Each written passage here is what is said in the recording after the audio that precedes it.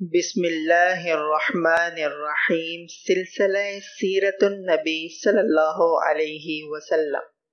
سوال، ہمارے نبی صلی اللہ علیہ وسلم کی ولادت جس سال ہوئی، اسے کس نام سے جانا جاتا ہے؟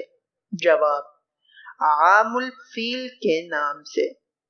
سوال۔ آپ صلی اللہ علیہ وسلم حضرت ابراہیم علیہ السلام کے کس لڑکے کی نسل سے ہیں؟ جواب حضرت اسماعیل علیہ السلام کی نسل سے۔ سوال آپ صلی اللہ علیہ وسلم کا قریش کے کس خاندان سے تعلق تھا؟